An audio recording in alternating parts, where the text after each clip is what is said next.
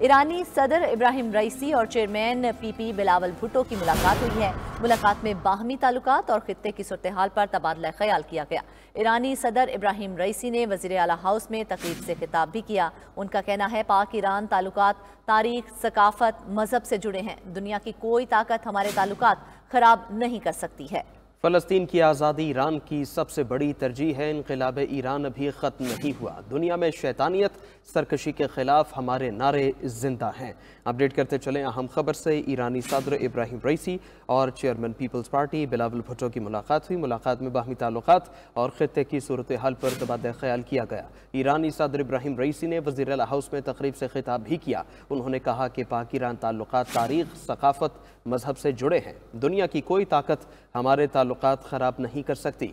फ़लस्तीन की आज़ादी ईरान की सबसे बड़ी तरजीह है। इनकलाब ईरान अभी ख़त्म नहीं हुआ। दुनिया में शैतानियत सरकशी के ख़िलाफ़ हमारे नारे ज़िंदा हैं।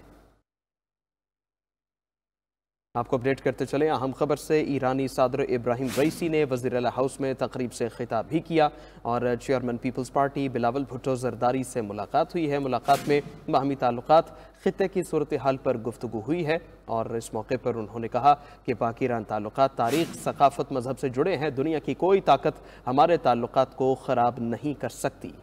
आपको बताएँ कि इब्राहिम रईसी और chairman peoples party Bilawal Bhutto की मुलाकात हुई है।